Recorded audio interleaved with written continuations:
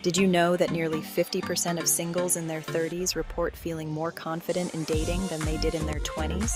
Crazy, right? Let's dive into how dating changes as we age.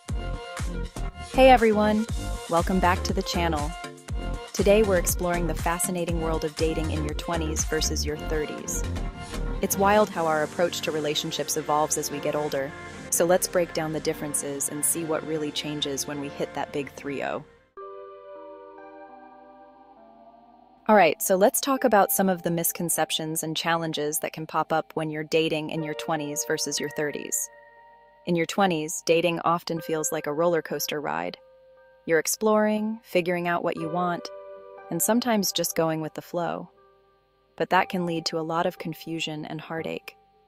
You might find yourself in a situationship that just leaves you feeling lost. On the flip side, when you hit your 30s, things can look a lot different. There's this pressure to settle down, and suddenly everyone expects you to have it all figured out. This can lead to a different set of challenges, like feeling like you're racing against the clock or dealing with the expectations of family and friends. It's a real tug of war, where you might feel the need to find the one while also wanting to keep your independence. So, yeah, both decades have their unique hurdles, and knowing that is half the battle. Now, let's dig into the key differences in dating priorities, relationship goals, and maturity levels between these two age groups.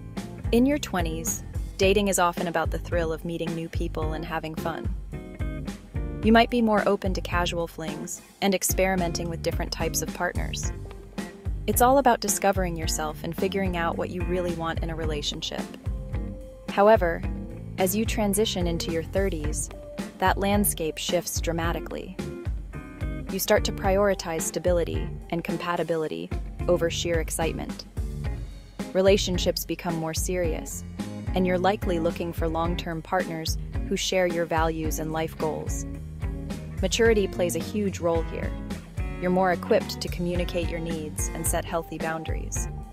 Plus, you've probably learned some valuable lessons from past relationships that shape how you approach dating now. And let's not forget about the impact of life experiences. By your 30s, you've usually got a clearer sense of your identity, which can make dating feel less daunting. You know what works for you and what doesn't, which can lead to more satisfying connections. So, what's the big realization when it comes to dating in your 30s versus your 20s?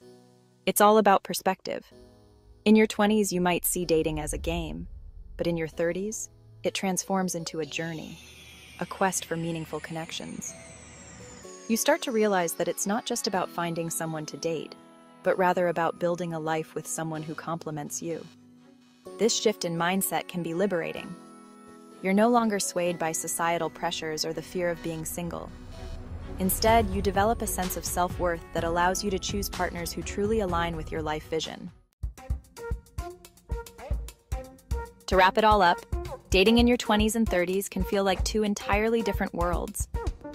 In your 20s, it's often about exploration and fun, while your 30s bring a deeper understanding of what you want in a partner and a relationship.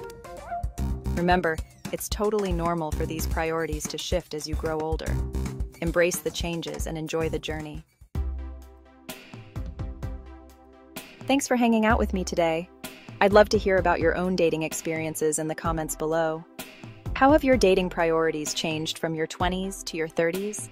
Don't forget to check out my other videos for more dating tips and advice. Catch you in the next one.